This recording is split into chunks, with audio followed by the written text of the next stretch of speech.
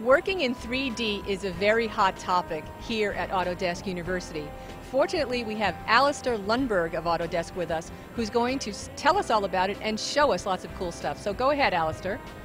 Uh, thanks very much. What I first wanted to show is simply what is 3D, uh, 3D printing, and also what are we doing with AutoCAD and 3D printing. So first of all, just a quick introduction on what is 3D, uh, 3D printing. So basically it's a type of additive manufacturing and what we do is literally print out a small layer of plastic at a time, a bit by bit by bit. And that allows us to create these really complex pieces uh, and parts.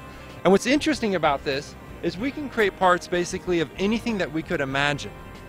So for example, this part here actually is a planetary gear and what's interesting about it is it was all printed at once. So there's no assembly required and it just works. That's so, amazing. Yeah, it is. So uh, some other things I wanted to show for 3D printing, you can create these small parts here, but you can also create these large parts like this motorcycle that we have up here. So for that motorcycle, we printed that out, that's uh, several hundred parts, and then we assembled them together, and now we have a full-scale motorcycle before we actually manufactured it. Here's another, um, another part. This is a carburetor fan and what customers can do with 3D printing is they can not only check the fit of a part and just how it looks, but sometimes they can even test the function of a part.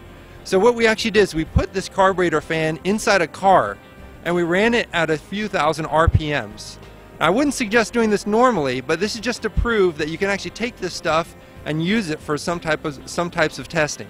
This is a 3D printed part and we actually combined it with traditional manufacturing parts. So 3D printing is really just another type of manufacturing, and you can buy stuff off the shelf or from your other manufacturing uh, processes or buy it from your suppliers and include it uh, include your 3D printout as part of this. So for example, we've got all these various off-the-shelf parts and we've got our 3D printout and you can see how it all works together.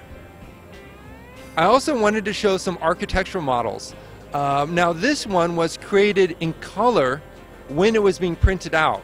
So 3D printing, you can not only create white or single colors, but you can actually take multiple colors and the 3D printer will add that color during the 3D printing process.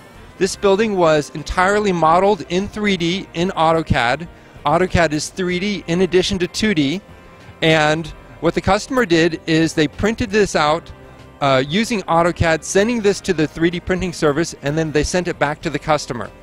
So what's great about this model here is you can really understand the perspective and the angles of the building as you move around it. There really is nothing like seeing something in, in real 3D. How does AutoCAD fit into 3D printing? Well, with AutoCAD, we've been enhancing the 3D printing experience directly within AutoCAD. So now you can design your 3D model in AutoCAD, send it from AutoCAD to the 3D printing service, print it from the 3D printing service. It gets then sent back to you in the mail, and now you have it for your uses. So with AutoCAD, we've been making improvements to make the 3D printing experience simpler and better.